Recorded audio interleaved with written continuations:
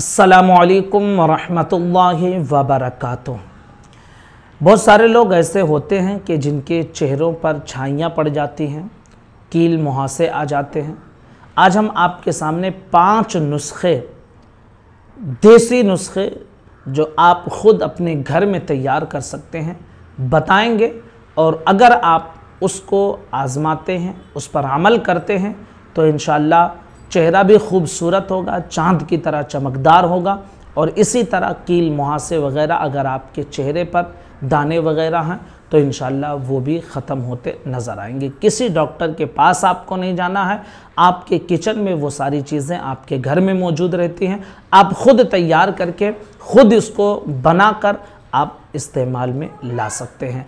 इन चेहरा बहुत खूबसूरत हो जाएगा और किसी भी किस्म की इधर उधर से जो है केमिकल वाली क्रीम्स, इन सारी चीज़ों की ज़रूरत नहीं पड़ेगी।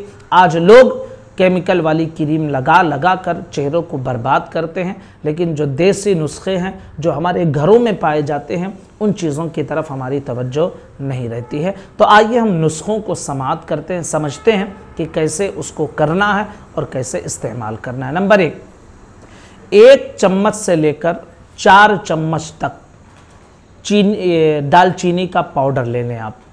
कौन सा चम्मच? वो छोटा चम्मच, चाय का स्पून जिसे कहते हैं। हमारे घरों में जो छोटा चम्मच इस्तेमाल होता है। तो एक चम्मच से लेकर चार चम्मच तक, जितना आपको बनाना हो। ठीक है? दालचीनी पाउडर ले लें और दो चम्मच शहद ले लें। दोनों को पेस्ट बना लें। और पेस्ट बनाने के बाद उसे आप अपने चेहरे पर लगा लें और लगाने के बाद तकरीबन 15 से 20 मिनट के बाद आप उसको ठंडे पानी से धो लें। कुछ दिनों तक आप इस्तेमाल करेंगे इन चेहरे पर चमक नज़र आएगी।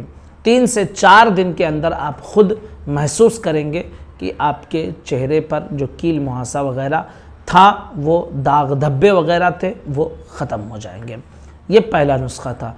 दूसरा नुस्खा दो चम्मच, जो चाय का चम्मच होता है, दो चम्मच नींबू का रस ले लीजिए और दो चम्मच दही।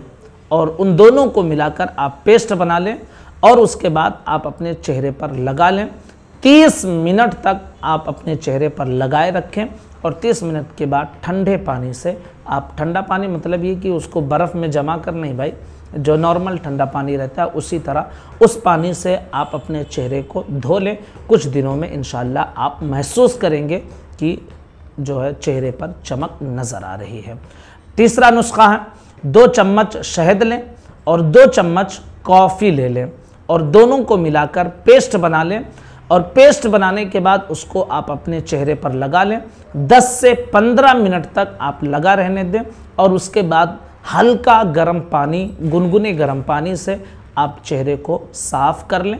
इन इससे भी कील मुहासा वगैरह ख़त्म हो जाएँगे। चौथा नुस्खा है, नारियल मिल्क आप ले लें और चाय के चम्मच से एक चम्मच हल्दी ले लें। यानी जो है आधा गिलास नारियल मिल्क ले लें और उसके में जो है एक चम्मच आप हल्दी पाउडर डाल दें और दोनों को पेस्ट बनाकर इतना गाढ़ा हो जाए कि आप अपने चेहरे पर लगा लें। पंद्रह मिनट तक आप अपने चेहरे पर लगाकर उसे छोड़ दें और उसके बाद पंद्रह मिनट के बाद ठंडे पानी से आप अपने चेहरे को साफ़ कर लें। कुछ दिनों तक आप इसको इस्तेमाल करेंगे इन इससे भी आपको फ़ायदा मिलेगा। नंबर पाँच, पाँचवा नुस्खा हम आपको बता हैं कुछ लोग ऐसे होते हैं कि जिनकी चमड़ी में चिकनाहट होती है, चेहरे वगैरह पर तेल की तरह चिकनाहट पाई जाती है।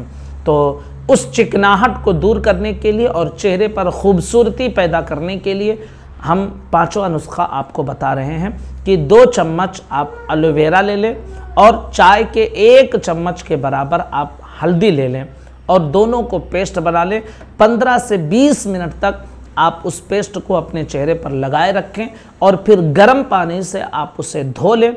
इन कुछ दिनों के अंदर आप महसूस करेंगे कि चेहरे के अंदर चेहरे की चमड़ियों पर जो चिकनाहट थी वो चिकनाहट दूर हो जाएगी। तो हम इधर उधर से जो क्रीम वगैरह मंगा कर इस्तेमाल करते हैं महँगे महँगे दाग धब्बे भी नहीं जाते हैं और ऊपर से कोई ना कोई चमड़े में आ, कोई प्रॉब्लम स्किन प्रॉब्लम शुरू हो जाता है। तो ये सब देसी इलाज हैं इसका कोई साइड इफ़ेक्ट नहीं रहता है। आप अपने घर में ये सारी चीज़ें देखते हैं, इन सारी चीज़ों को बनाकर इस्तेमाल करके आप अपने चेहरे के अंदर खूबसूरती पैदा कर सकते हैं। तो ये पाँच नुस्खे थे जो हमने आप तक पहुँचाए। गुजारिश है, इस क्लिप को अपने तमाम दोस्तों, साथियों तक ज़रूर शेयर करें, ताकि अगर किसी को भी इस तरह की ज़रूरत महसूस हो तो वो आसानी के साथ अपने घर पर बैठकर इस तरह पेस्ट बनाकर इलाज कर सकें। असलकम वरहमल वर्का